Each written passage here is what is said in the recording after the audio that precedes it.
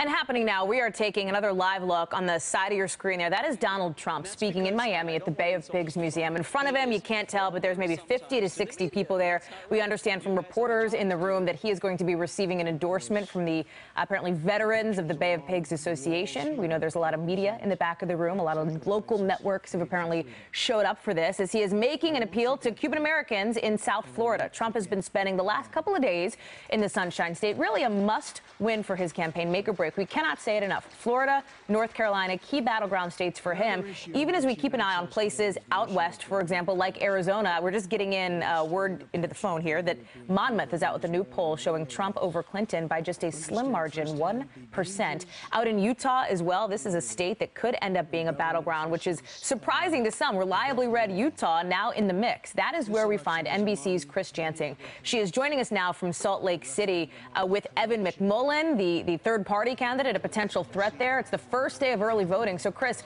you're out there, you've been seeing the polls. Uh, what are you hearing from voters?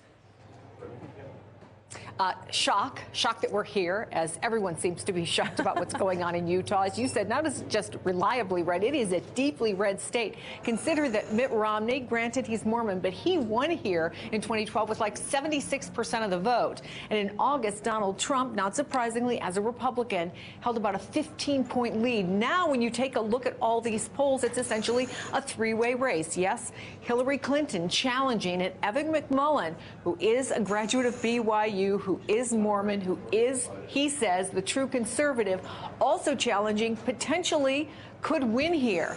And so all of a sudden, we have all this interest here. You have Mike Pence. Who would have thought that less than two weeks before the election, a vice presidential Republican candidate would have to come to Utah to try and shore up support here? And then you have people like Mormon former Senator Larry Pressler, who's been going around meeting with Mormon groups.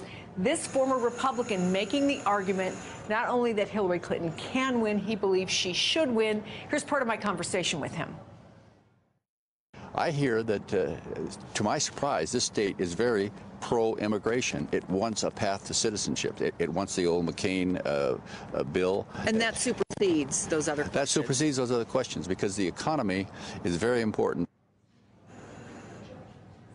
And Tim Kaine today uh, putting an op-ed into the local paper that is run by the Mormons, uh, talking about his service as a missionary, trying to be relatable to this heavily Mormon community. But it really is a toss-up here. The polls have been all over the place. Someone could win Utah, Hallie, in the 30% range. 35, 36, 37% could be a winning margin here. Chris, I love what you said right in the beginning there. What are, what are people's reactions? Shock. That kind of sums it up in a word. Mike Pence, by the way, as you mentioned, will be there uh, tomorrow. Yes, Chris, thank you very much from Salt Lake City. Hey there, I'm Chris Hayes from MSNBC. Thanks for watching MSNBC on YouTube. If you want to keep up to date with the videos we're putting out, you can click subscribe just below me or click over on this list to see lots of other great videos.